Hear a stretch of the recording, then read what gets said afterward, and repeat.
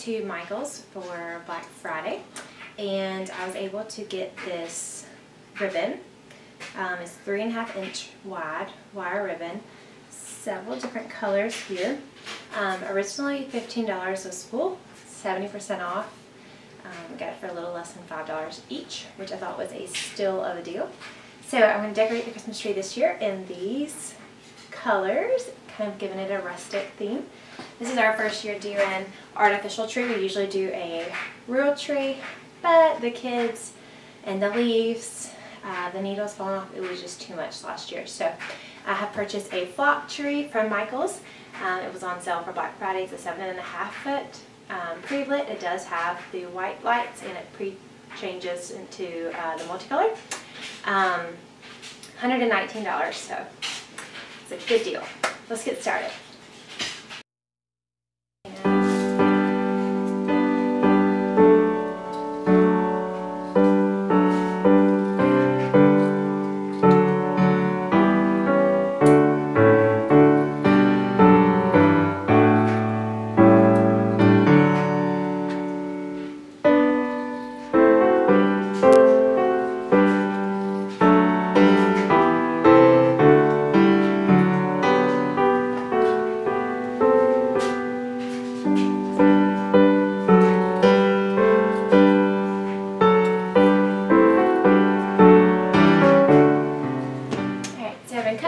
About this long or so, maybe a little bit longer on some some pieces, for probably about two foot.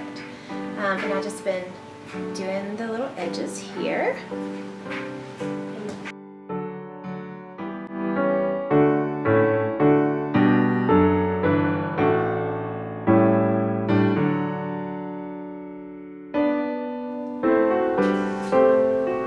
So once you cut the strips of ribbon, and I just kept cutting them individually um, as I went along, um, but you'll take like the top part and just kind of gently tuck it in between the branches very loosely. And I kind of did a smaller swoop at the top and tucked it in and then kind of left a larger swoop for the bottom piece.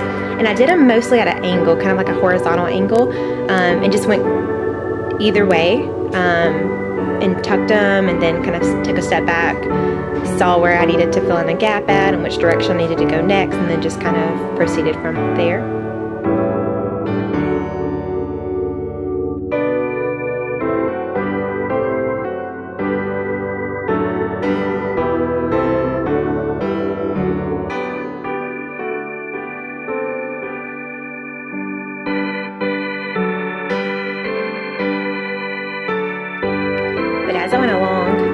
Just kept kind of twisting the tree, tucking them, just taking a step back, filling in the gap, and once you just kind of get the flow of it, it, it goes pretty smoothly. Um, and you can't go wrong with this. It's just totally your preference, how much you want to add, how little you want to add, how long are the strips, how short are the strips, um, and so forth.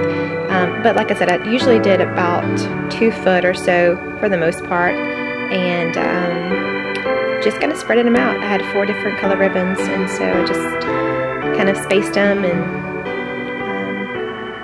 um, spun the tree to see where there was a gap at and kind of filled in the gap. And then of course once you put your decorations and stuff on as far as like your ornaments, um, it kind of breaks it up a little bit too so it's perfect.